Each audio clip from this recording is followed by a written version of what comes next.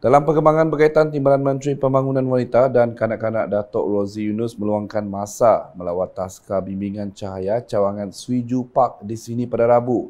Menurut beliau, ini kali kedua lawatannya di taska tersebut bertujuan meninjau prosedur operasi standard SOP yang dipraktikan di taska tersebut.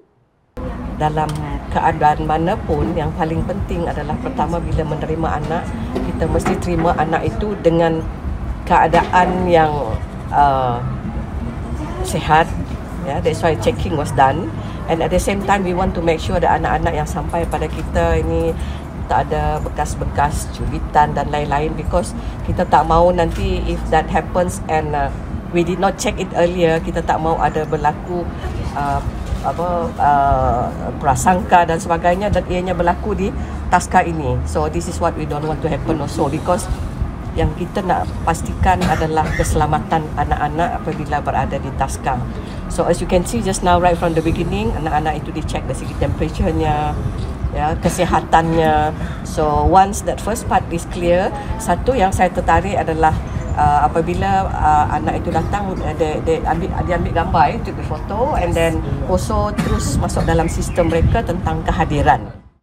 Beliau berkata demikian ketika ditemui media selepas melakukan tinjauan di Taska Bimbingan Cahaya Cawangan Swiju Park di Kuching pada Rabu. Sementara itu, Datuk Rozi itu menyatakan beliau tertarik dengan aktiviti yang dijalankan serta cara pembelajaran melalui pengalaman yang diberikan oleh para pengasuh dan pendidik yang bertauliah. Uh, we are really impressed yeah, by how they run the activities. Actually, this is what we call as experiential learning. Dia lebih kepada pembelajaran melalui pengalaman ya. Bila mana anak-anak tu diberi peluang untuk uh, melalui sendiri bukan hanya talking about A B C A itu A B itu bola dan sebagainya. But when you look at them tadi uh, seperti apa yang telah di, uh, dimaklum, dimaklumkan pada kita tadi uh, mengenai uh, cara mana dia mengendalikan kurikulum hariannya. Of course standard curriculum is there but at the same time it's just a matter of how you carry out the standard curriculum itself.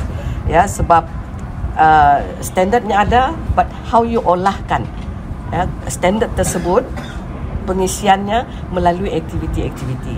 At the same time, they are also going on a digital apa nama ke arah pendigitalan sistem. Sebab kita lihat right, daripada awal tadi pun kita lihat how they capture the photo and how later on itu terus kepada ibu bapa of course is only limited uh, to them and the parents. Ya yeah, so ini ini adalah di antara uh, yang kita perhatikan dan